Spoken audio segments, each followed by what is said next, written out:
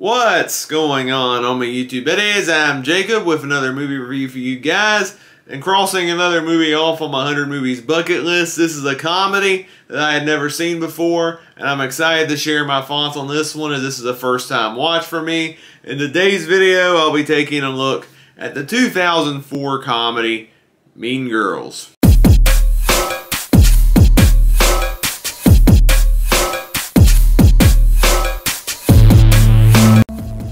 Cady Heron is a hit with the Plastics, the A-list girl clique at her new school, until she makes a mistake of falling for Aaron Samuels, the ex-boyfriend of Alpha Plastic, Regina George.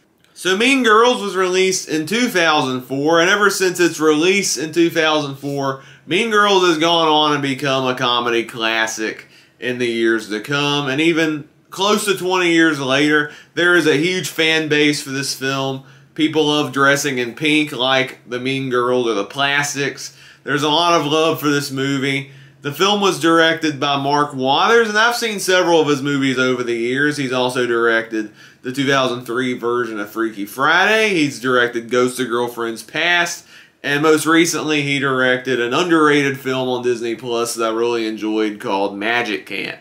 So he does have an impressive track record. Tina Fey wrote the screenplay for this film who also co-starred in the film. And this film was based on some of Tina Fey's actual high school experiences. So that makes the film very relatable to her, and I have a great respect for her for writing this movie. Mean Girls was a movie that I had heard about for so many years, but I never felt the urge to watch Mean Girls. I didn't think it was a movie that would click with me. The with the generic title, I didn't think this would appeal to my age demographic or anything like that. So I never watched Mean Girls as a kid or all these years later. It wasn't until its placing on the 100 Movies bucket list where I'm like, okay, I'll give Mean Girls a chance. And I eventually gave Mean Girls a chance, and wow, I wasn't expecting to enjoy this movie as I did. Yeah, the movie does tell a pretty basic story on paper, where it involves these different high school cliques. You have a main girl that's trying to fit in, and then her butting heads with like the bully character and stuff. You get all that in this movie, and that's something you see in a lot of high school teen comedies of this nature.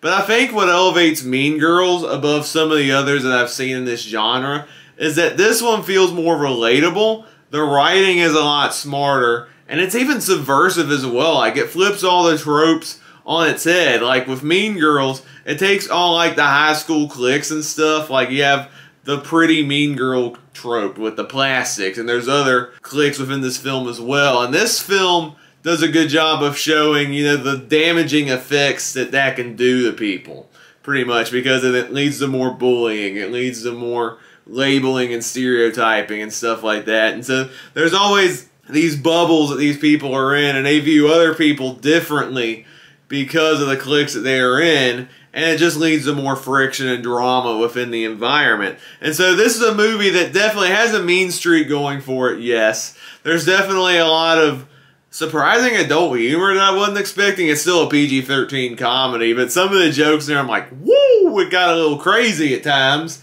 I enjoyed like the camaraderie with the cast, especially between Lindsay Lohan and Rachel McAdams. I was not expecting Rachel McAdams to be this funny. And she was honestly the funniest thing about Mean Girls playing an absolute mean girl character. I thought she did a great job of playing the pettiness and the selfishness of her character. She played it so well. And I gotta respect Lindsay Lohan in this because I recently saw her in the Disney film Confessions of a Teenage Drama Queen, which had similar plot threads in both movies.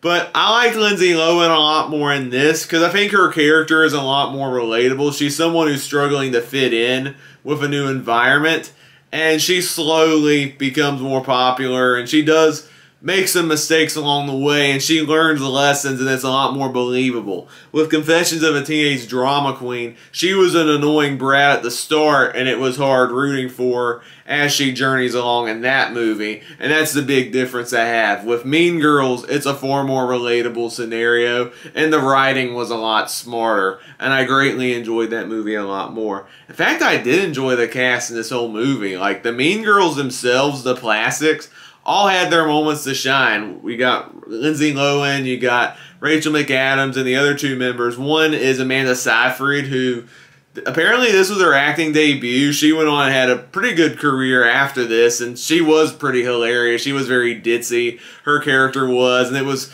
hilarious, her character saying some of the dumbest things, and it just made the character so entertaining. The other one is played by Lacey Chabert, she later went on and became like the mascot for like Hallmark movies. So if you're a fan of Hallmark movies and you want to see an earlier role with this actress, yeah, watch her in Mean Girls. She plays a completely different character and she's absolutely hilarious. Tina Fey also stars in this movie as the math teacher. She had some funny moments. She's obviously naturally talented and funny, and she does have some funny moments in the film.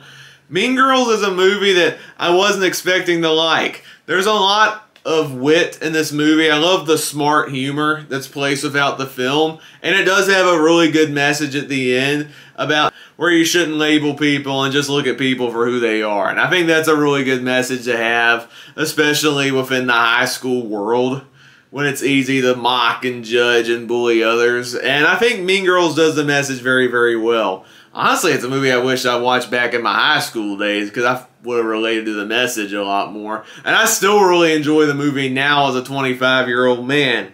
If I ever have teenagers, I yeah, it's a good movie. I'll show them. So yeah, I definitely enjoyed Mean Girls. It's a great little comedy, one of the best comedies that I've come across this year. I was watched this also for my 25 plus Films Challenge with comedies, and this is one of the best comedies that I have discovered for the first time in 2021.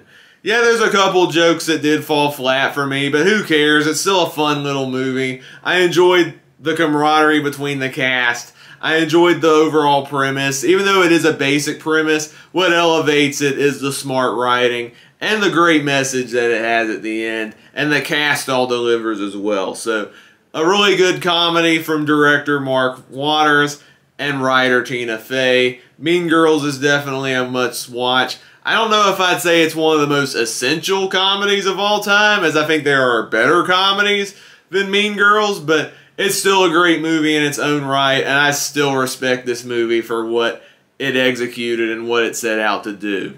So at the end of the day, I'm going to give Mean Girls a 4.5 out of 5 stars. And on the 100 point scale, it's getting an 86 out of 100. So that wraps up my review of Mean Girls as part of my 100 Movies Bucket List series. I'll leave a link in the description below where you can check out some of the other reviews I've done on the 100 Movies Bucket List, where I'm reviewing all the movies on my 100 Movies Scratch Off poster plenty of movies that I have seen before, while others that I haven't seen before. It's a great little mix of movies, and I'm enjoying this series so far. I'm over halfway done, and I'm excited to share more movies within this bucket list series. I think after the success of my recent watch party with Psycho, some of the movies that I have previously seen before, and I have older reviews on my channel of. I might do watch parties on some of these movies, so be on the lookout for some watch parties coming to the channel soon on some of these movies on the 100 Movies bucket list. I'm excited to experiment with more of those. So if you're a fan of movies, feel free to click the link in the description below to check out my past reviews on the 100 Movies playlist. And don't forget to click the subscribe button and notification bell so you can be notified of future videos in this series. If you've seen Mean Girls, let me know down in the comments below. Would you follow the film? Did you love it? Did you hate it? Were you mixed on it? But whatever your thoughts are, please be civil and respectful of others. If you enjoyed this video, please give it a thumbs up, the subscribe button to see more content, and the notification bell next to it so you can be notified of future videos. If this is your first video besides movie reviews, I also do TV reviews, ranking videos, and other fun stuff along the way. I have some more videos planned for you soon.